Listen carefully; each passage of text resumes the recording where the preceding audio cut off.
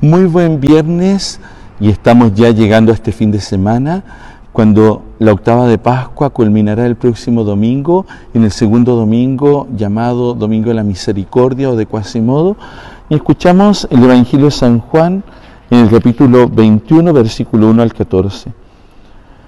Jesús apareció otra vez a los discípulos orillas del mar de Tiberíades. Sucedió así. Estaban juntos Simón Pedro, Tomás llamado el mellizo, Natanael, el de Caná de Galilea, los hijos de Zebedeo y los otros dos discípulos.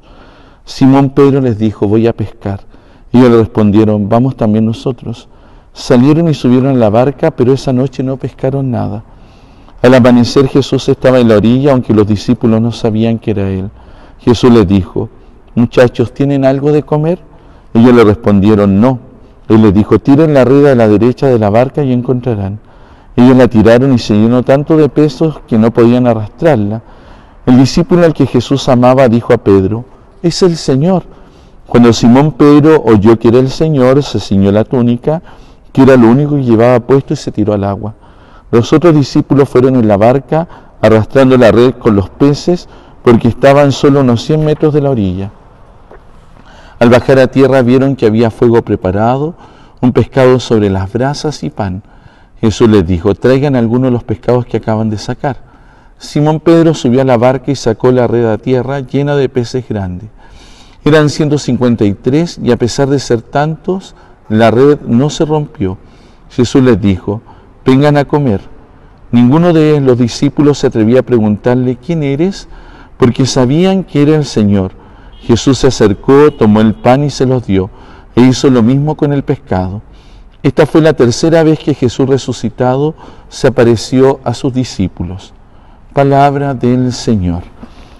Estamos en este día viernes nuevamente contemplando una de las apariciones de Jesús resucitado, esta vez junto al mar de Tiberíades o el mar de Galilea, y parece ser que los discípulos no habían comprendido todavía lo que significaba la resurrección y la tarea que tenían por delante.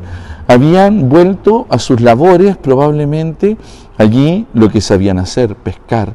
Vuelven Pedro y otros más, y es el Señor que nuevamente aparece en la orilla, en la orilla del lago, para llamarlos. Así como los llamó, y dice el Evangelio de Lucas, que los hizo pescadores de hombre, esta vez es Jesús resucitado que los llama y los invita a confiar en Él. Vuelve a ocurrir este milagro de la pesca milagrosa, esta pesca que se vuelve fecunda, abundante, y cómo el Señor que está ahí les prepara también este momento de encuentro. Es que la resurrección tiene también esta, esta actitud de acogida, de humanidad. Jesús que se sienta con los discípulos a compartir el pan, a compartir el pescado, Nadie se atrevía a preguntarle quién eres porque todos sabían que era Jesús.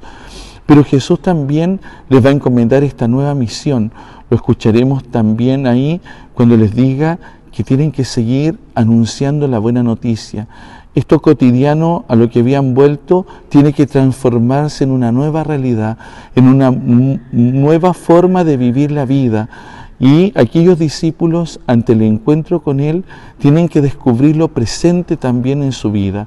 Es curioso porque el Evangelio dice que estando los discípulos ahí en la barca, pescando, no, sin nada, porque les había ido mal, como al escuchar la voz de Jesús, echen la red a la derecha, ahí pudieron también recoger los frutos del trabajo. Hay veces que nuestros esfuerzos pueden ser inútiles cuando estamos solos. Solo cuando escuchamos la voz del Señor, los esfuerzos se transforman en frutos abundantes. Y por otro lado, es reconocer a Jesús en esta vida cotidiana, como lo reconoce el discípulo amado, como lo reconoce Juan, que le dice a los demás, es el Señor. Y es el Señor el que hoy día también nos acompaña en la tarea de cada día, es el Señor que nos vuelve a hablar con su palabra y es en Él que tenemos que poner nuestra confianza y nuestra esperanza. Que en este día viernes, atendiendo esta palabra, dejemos que Jesús nos hable al corazón y lo reconozcamos y le digamos, Señor, en ti confiamos, Señor, en ti creemos. Muy feliz día y el Señor les acompañe.